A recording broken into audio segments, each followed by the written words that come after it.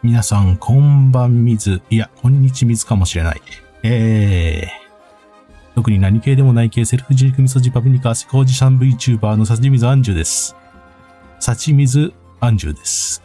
今日皆さんにご紹介するのはこちら、ヒーローズアワーというインディーストラテジーゲームと言いますかね。完成らしいんですけど、まあ、バトルのシーンは RTS なんですかね。ここを眺めてるだけなのかもしれませんが、まあ、まだやってないので、ね、わからないですところがいっぱいありますが、これドット絵が可愛いゲームですね。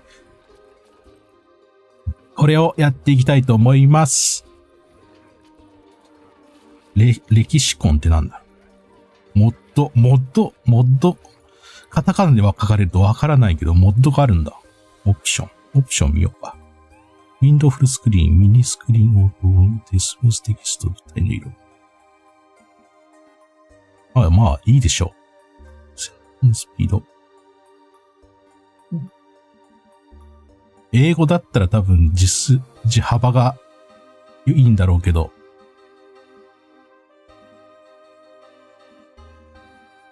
日本語にしたらね、幅がね、取っちゃうからね、多分ね、半角半角にしたらいいのかな。いや、UI の話をしないで。チュートリアルやっていきましょう。ヒーローズアワーへようこそ。このち、このち、ちくち、はい、このち、チュートリアルでは、基本を学ぶことができます。現在、アドベンチャーマップが表示されていて、ヒーローが中央に立っています。まずはマップ上のヒーローをクリックして選択してください。移動したい場所を右クリックするとヒーローがマップ上移動します。また、ヒーローはマップ上のオブジェクトを調べたり、こう操作でき、操作できます。ちょうど北にあるゴールドの山まで移動して拾ってみてください。あ、これゴールド。ゴールド。A pile of gold. When picked up, the resources are added to your stores. えー、ピックアップ、拾うと、あなたのものになりますよというところですかね。右クリックしましたよ。ペーン1250ゴールド手に入れた。ゴールドはゲームの中で最も重要な資源です。街を建てたり、軍隊を拡大させるために使用できます。ではヒーローを西、東、東じゃない。左。自分で受けてどうするの？はい。はい。ちょっと待ってね。左にあるキャンプファイヤーまで移動してください。入植者のキャンプ。ヒーローにゴールドとより遠くまで移動できるスピードを与える。ここは日本語だ。ユーン。あ、これ？兵士なんだ。これがヒーローで。ヒーローは1日に一定の距離しか移動できませんが、キャンプファイヤーで追加の4ステップ動けるようになります。北に向かう際に使用してください。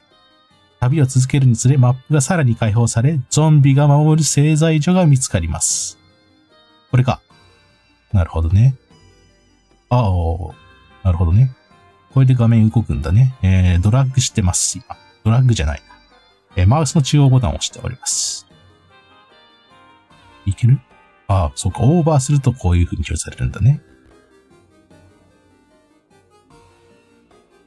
これ以上移動できなくなったため、ここでターンを終了する必要があります。下のボタンをクリックしてください。ターンを終了すると、プレイヤーがターンを開始し、その後も新しい日が始まります。敵も同じようにゲームをプレイします。下のボタンを押しクリック。これか。なるほどね。それでターン制なんだね。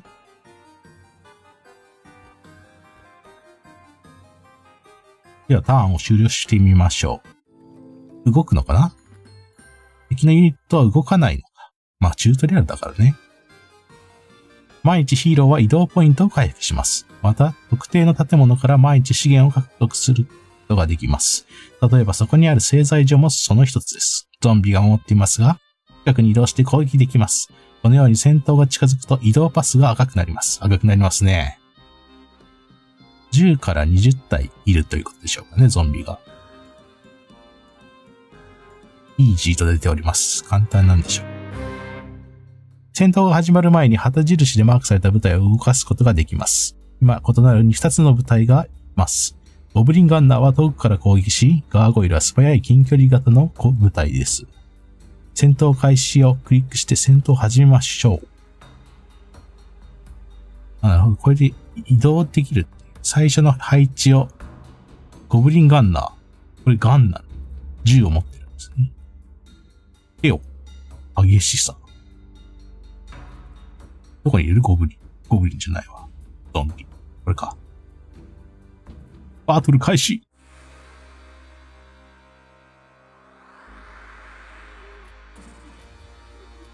ぴょんぴょんぴょんぴょん。戦闘中、部隊は自動的に戦い、戦います。ヒーローも同様です。部隊をクリック、ドラッグして移動できますが、必ずしも必要はありません。必ずしも、あー、終わってしまいました。ゾンビを倒したので資源を回収できます。木材は建物を作るために役に立ちます。またヒーローを移動させて灰色の旗をタッチし、製材所を獲得しましょう。製材所は支配下にある間、毎日木材を2個生成します。今日は経験値600を獲得しました。勝ちましたね。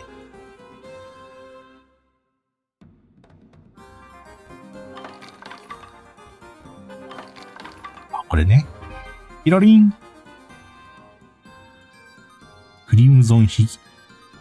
戦闘で部隊を失っ失ってしまったので、再び戦闘に入る前に援軍を要請する必要があります。東に移動して町が見つかったらそこを支配下に置いてください。また移動途中で落ちている資源を回収できます。おう、インポッシブル。強いんだ、熊。まあ、熊強いよね。熊だし。おほーん。クリスタル。A pile of crystal. When pick up, the resource are added to your stores. うん。同じですね。あ、街なんか、モスクワ、モスクワっていうかロシア的なアート。ちゃんと難易度が出てくるのが偉いですね。ターンを終了します。レホノリム。おお。鳥で。こうやって、タイの作成。作るマックス。この街を支配下に置いたため、右側のパネルから自軍用のゴブリンガンナーをさらに作ることができます。ヒーローが街を訪問している場合、部隊は自動的に軍隊に加わります。また、部隊を街の駐屯地とヒーローの軍隊の間にドロッグス、ドラッグすることもできます。また、部隊を街の駐屯地とヒーローの軍隊の間にドラッグすることができます。どういうこと？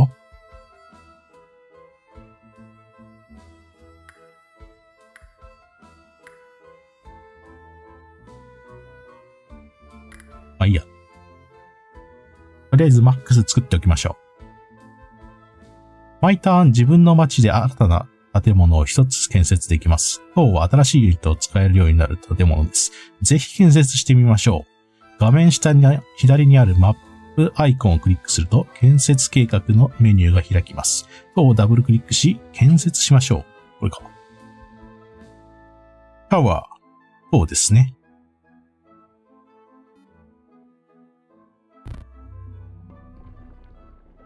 これ何？巻物。ガーゴイル。巻物、一旦木綿的な存在なのかな？まあ、今自分のところにガーゴイルがいますから、ガーゴイルを追加してみましょうか。今回はガーゴイルか巻物を自軍に選び入れます。入れ、入れられます。各タイプごとに作成できる部隊の上限数が決まっています。上限数は7ターンごとにリセットされます。次に、北東へ進みましょう。進み、ヒーローを小さな神社に向かいましょう。向かわせましょう。はい。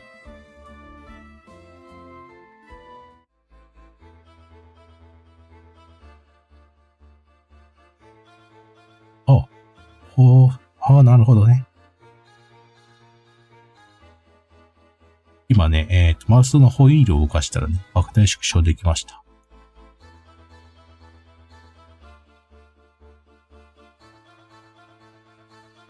はい。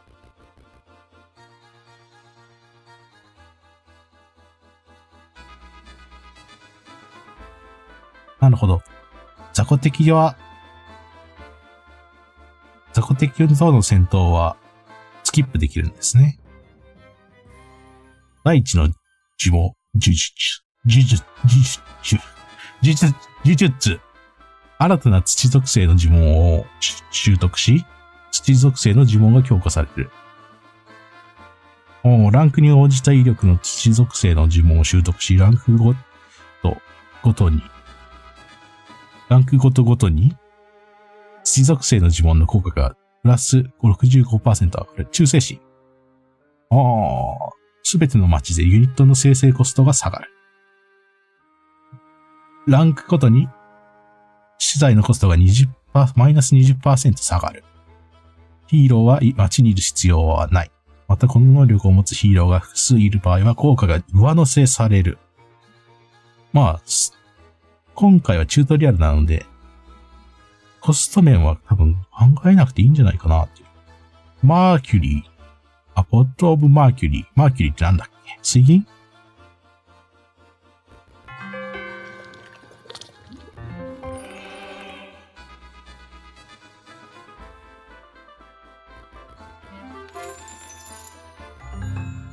小さな神社。神社、シュラインってことでしょうかね。おわ。金属の塊、鉱物の山、鉱物の山ってありますね。有馬召喚、訪問済み、少しハード、小さな神社を神社はヒーローにアニマ召喚の呪文を伝授します。伝授します。次回の戦闘ではこの呪文を使ってもっと簡単に敵を倒すことができます。呪文を唱えるにはマナが必要になります。マナは日ごとにゆっくりと回復します。さあ、さらに東、東じゃない。北に進んでください。鉱石の鉱山が見つかるので、そこにいる護衛部隊を倒しましょう。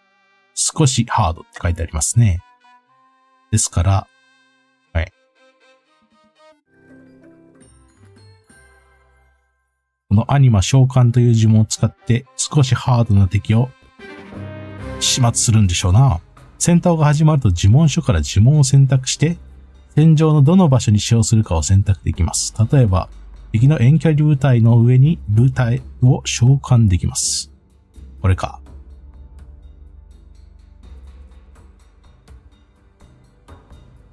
あ、ここで戦闘を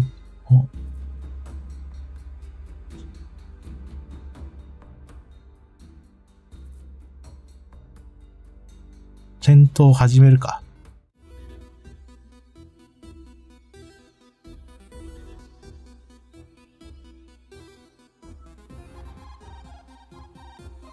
アニモ召喚引けスピチ。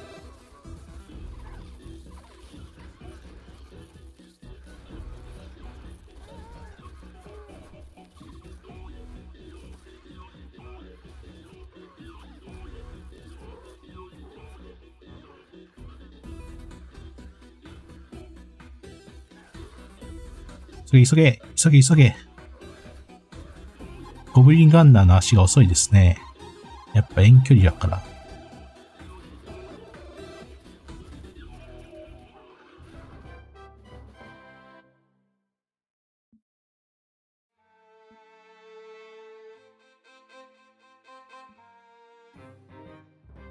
戦闘のたびにヒーローは経験値を獲得します。ちょうどヒーローがレベル2に達しました。おめでとうございます。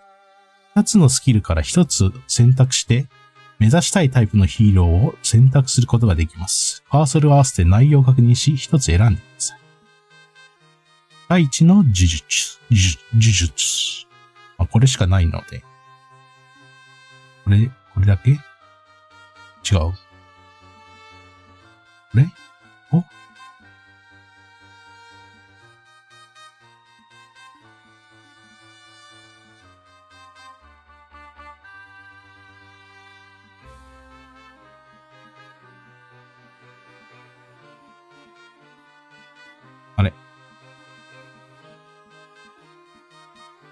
断るところ、断る、断っちゃうの？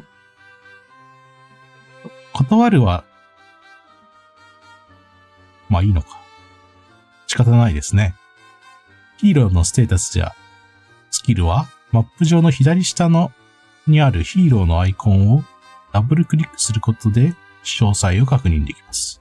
これか。終わるは閉じるですね、きっと。キャンセルかな？これで、獲得。建物は毎日建設することをお勧めする、します、おします。安くはありませんが、これが勝利の鍵となります。より多くの建設、建物を建設するにつれ、街が発展し、さらにゲームが進行するにつれ、もっといろいろな建物が利用可能になります。さて、あなたの街をダブルクリックして、診療所を建てましょう。移動しなくてもいいんですね。診療所。失ったクリーチャーの半分は診療所を使って蘇生することができる。なんということでしょう。保健衛生ですね。毎日何体かのクリーチャーが住居に持ってきて新しく雇われる。建設可能です。ういー。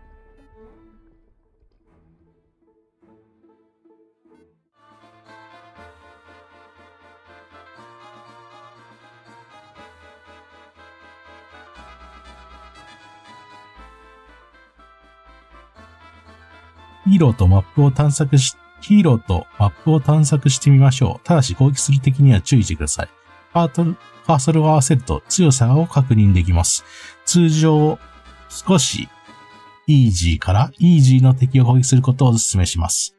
ヒーロー軍が強くなるにつれ、ほとんどの敵がイージーになります。少しハード。うん、うん。何これ？ハード。まあ、ゴールドを集めましょう。今、木材のやつ、木材の説明文日本語だったぞ。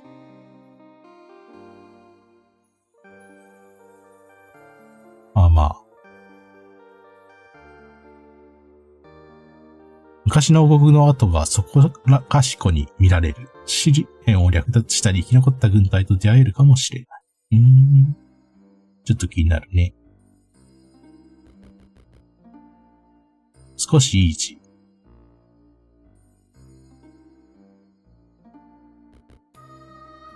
ターンを終了。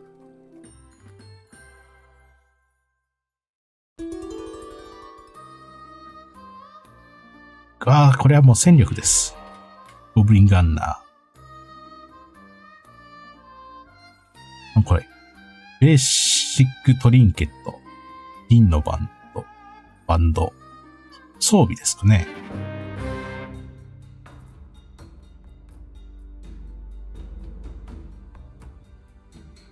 うおー、バトルだバトル。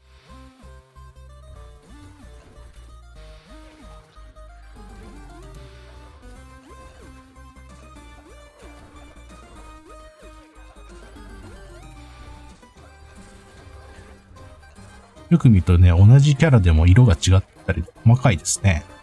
はい。数が多いですね、こいつら。何かわかんないですけど。ホログロダイト。何それ。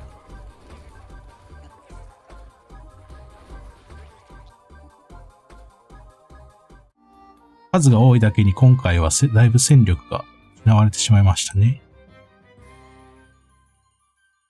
おお。休日の心得。遠距離攻撃ユニットは高命中率の射撃を行うことに、行うようになる。高い命中率の射撃の攻撃範囲が4倍になり、敵のサイズに応じて最低2倍の射撃化ダメージを与える。また攻撃範囲がランクごとにプラス8広がる。こちらは、アウンの呼吸、ギョトゥンを長期にわたって投用し、え？ん？ユニットネーム。あユニッ、ユニットとの、をアップグレードする。このヒーローがヨトゥンを長期にわたって登用する。ヒ、ヒーローがすでに同じユニットを率いていた場合、雷神、雷神を登用する。平均確率は1週間でランクごとに0.449。ヨトゥン。まあでも、ゴブリンガンナーいますから射撃能力アップじゃないですか？これは。我が、我が軍の。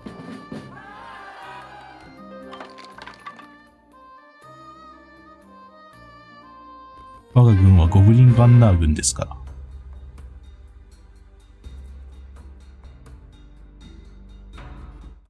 行けバトルださあ、これで、射撃能力がアップしたゴブリンガンナー軍の部隊がね、どう活躍するかと。近接、前線の近接部隊がね、ガーゴイル君たちが、だいぶ数減ってしまいましたね。はい。宝箱。この箱には一体どんな方法財宝が入っているのだろうか。もしかしたらお金やアイテムより価値のあるものかもしれない。2000経験値、1250ゴール。どっちがいいんだろう？お金かな？メイヘムのチュニック、インターミディエットトルゾ。エコーのセットの一部、3個のボーナス。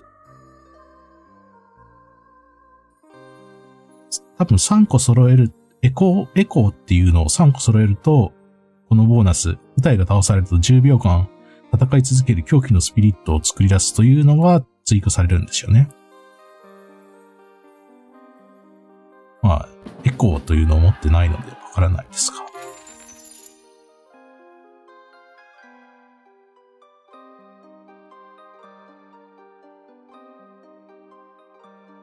失われたヒーロー。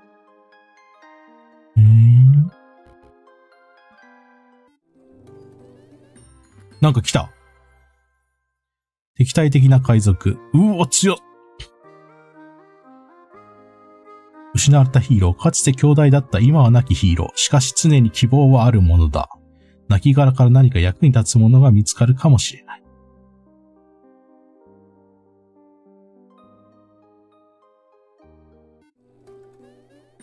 は海賊。探索。重い剣。ヘビーソードってことですかね。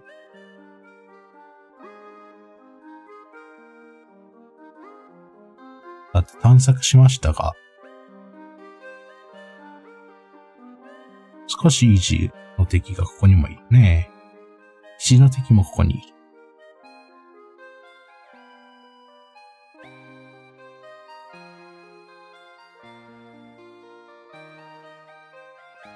そうだ、ターンを終わることにここで建設しないといけないんでしたね。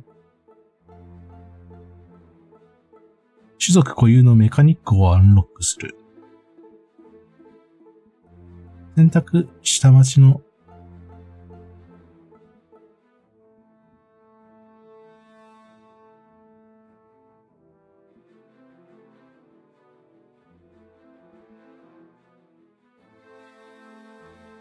いろいろ建てられますが、今資源とかどれぐらいあるのかな？ここに書いてありますね。いっぱいあるので、砦を作りましょうか。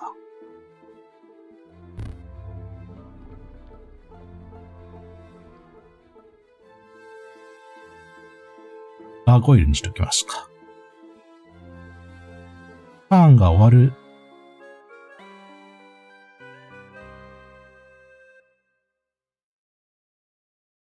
ちょっとね、街に戻って、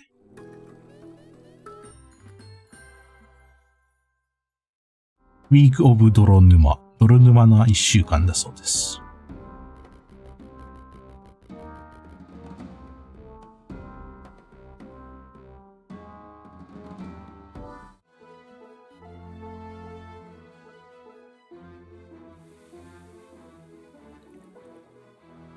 建設するのに街のレベルが足りません。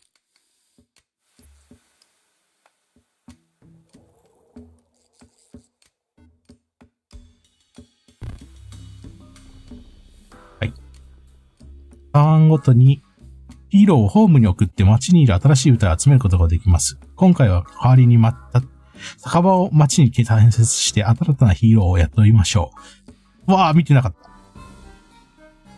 ターン終了ね。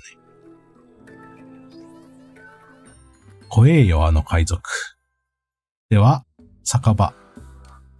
小さな軍隊付きのヒーローを雇うことができる。価格は最低200 2500ゴールドで、同じ州内に購入することごとに上がる。建設可能です。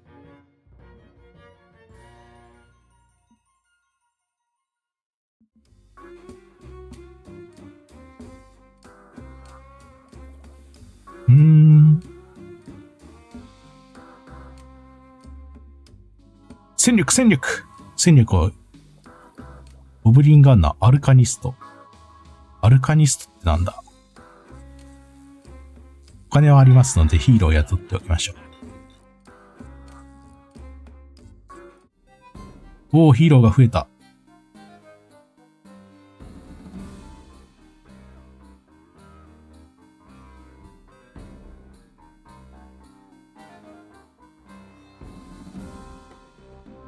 まだレベルが低いですから、少しイージーな敵を狙いましょうか。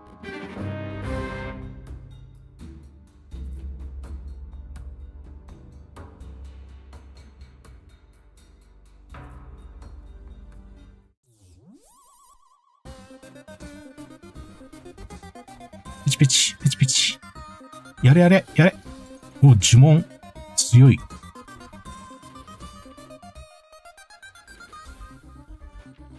わゴブリンがやられた。やばい、やばい、やばい。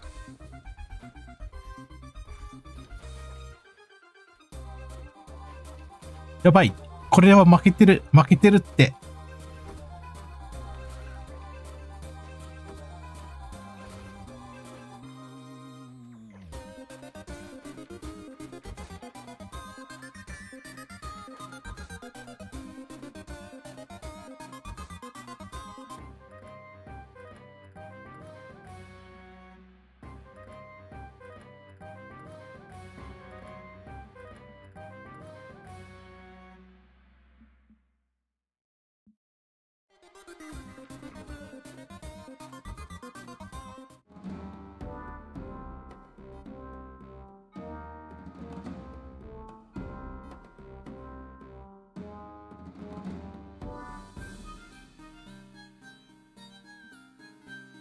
風の呪文。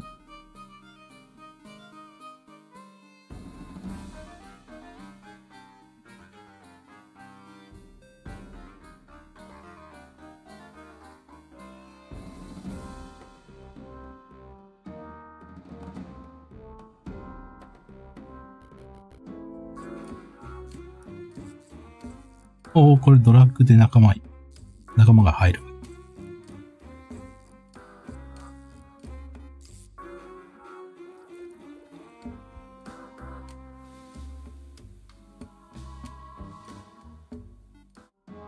き雇ったヒーローは戦死してしまいましたね。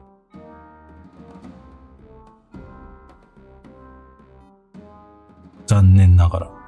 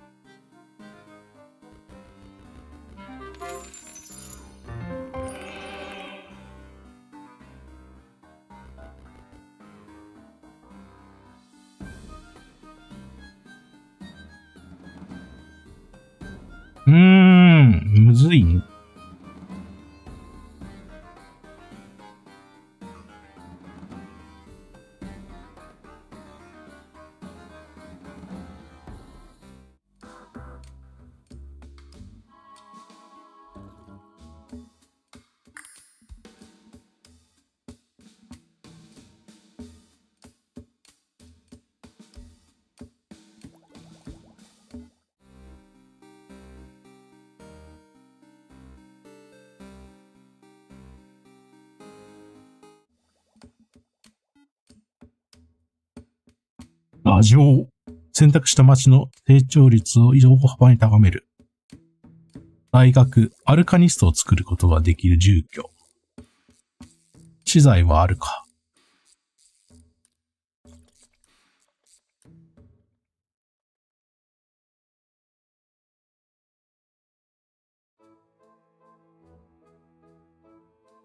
おおおおこれ特殊だね。種族固有のメカニックをアンロックするヒーローに強力なマナコストゼロの呪文を授ける。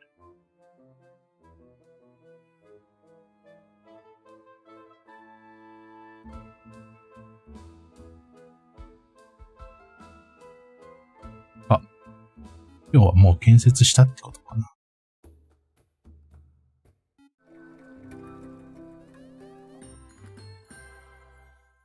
二人のヒーローを外の世界で合わせましょ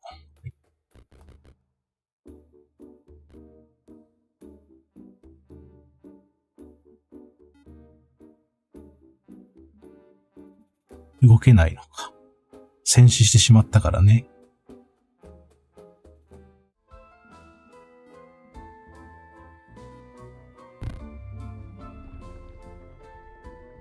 現在の呪文。呪文、炎の一撃。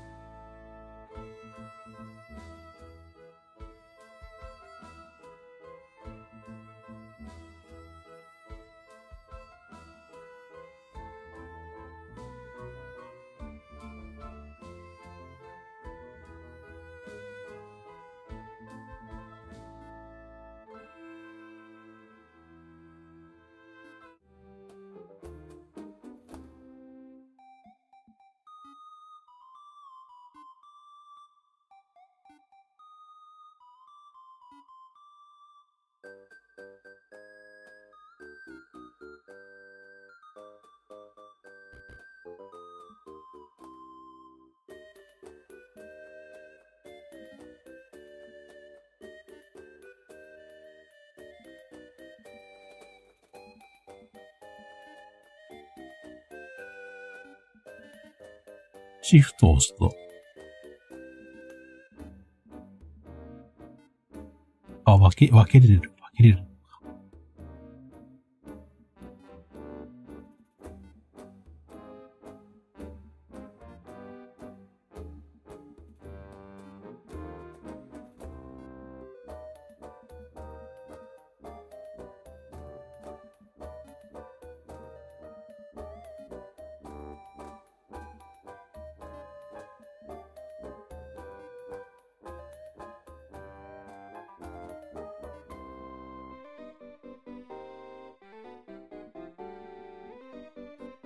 これでいいんじゃないですか？戦力をちょうどよく真ん中に分けておくと。街の北の方の新しいエリアにつにつながる山道があります。あなたの軍隊はそこを守るクリーチャーを倒せるくらいに十分に強くなったはず。早速倒しに行きましょう。どこや？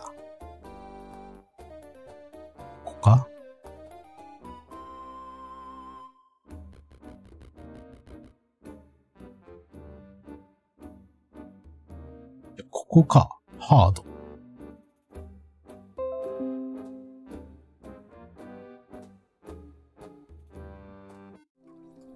あまた建設を忘れたんじゃない、忘れてないか？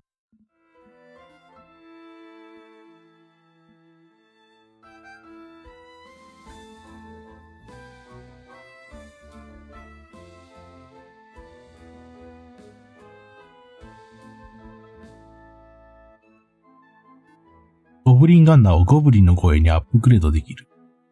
アップグレード版住居。ベースの成長量は13。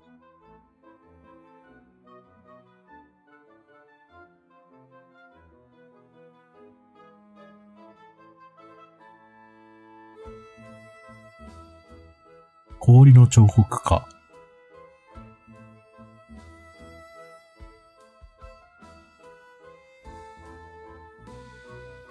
グラット。えー、試験をゴールドで売買できる。これでいいんじゃないですか？アップグレード版。ゴブリンの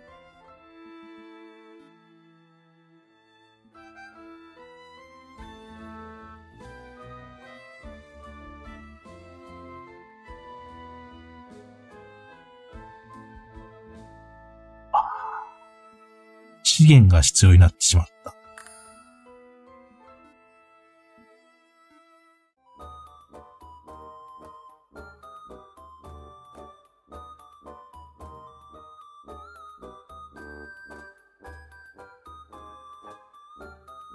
何これ？隕石。隕石を訪れると資源を使って魔法スキルを習得できる。さあ、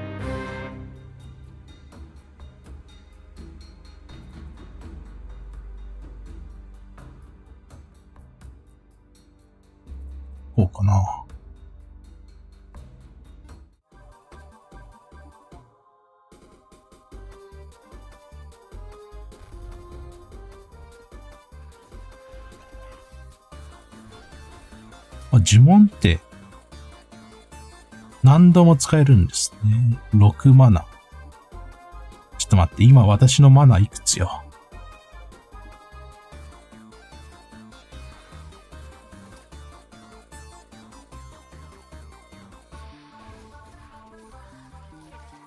ケツから、ケツからアニマを召喚？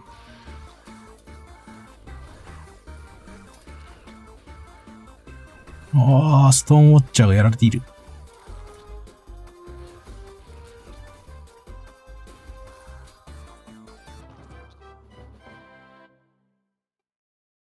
ストーンウォッチャーの、ちょっとやられましたね。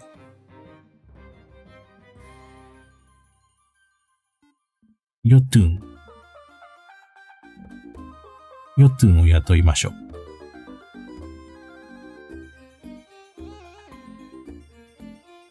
どこにヨトゥンが雇われたんでしょうね。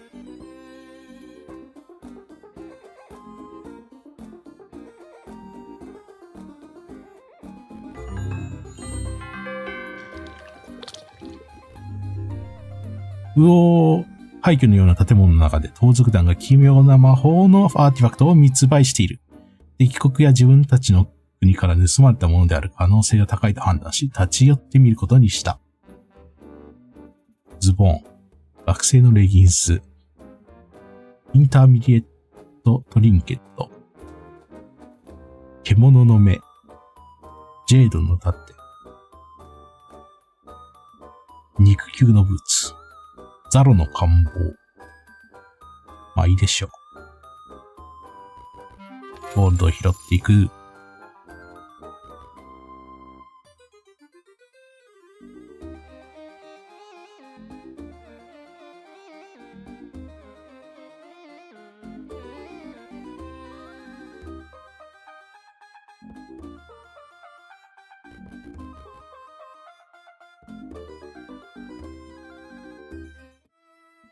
よう。アルカニストを作ることができる住居、ベースの成長量は3。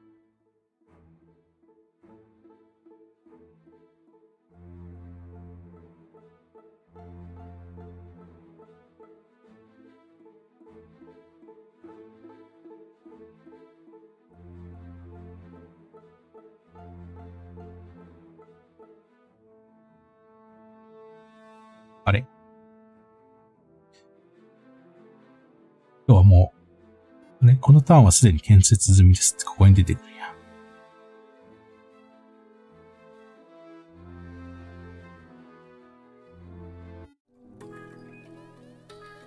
うぅ、海賊怖っ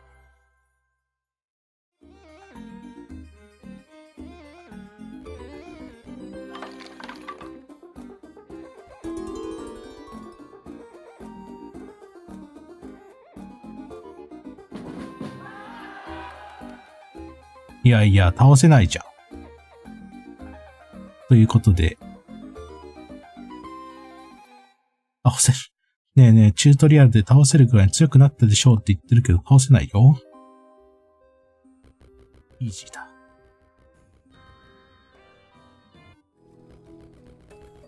グリーン塩よく見たら。ああ、なんだお前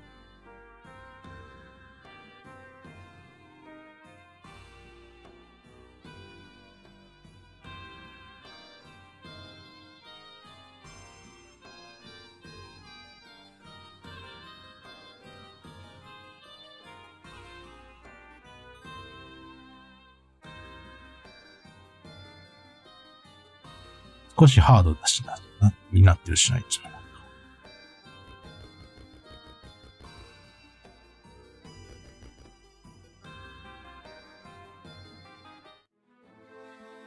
戦力。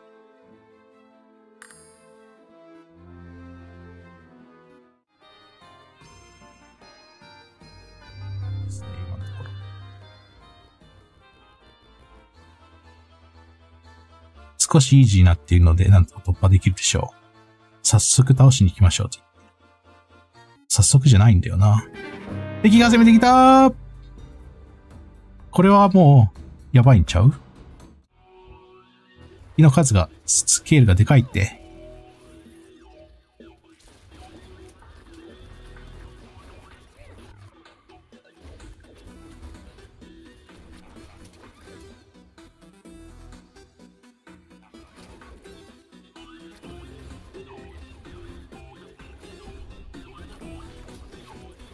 嘘。チュートリアルだよ、まだ。チュートリアルでそんな全滅さ、街を滅ぼされることある？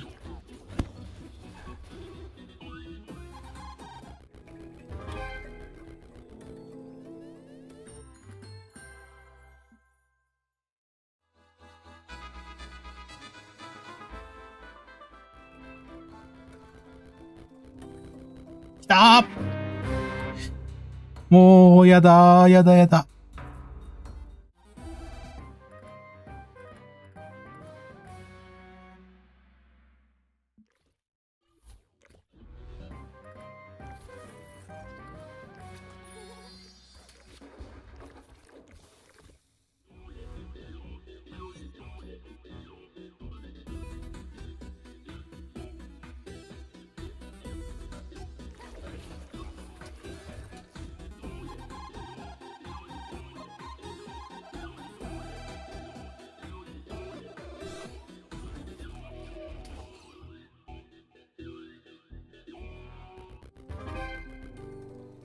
どうすんのさ？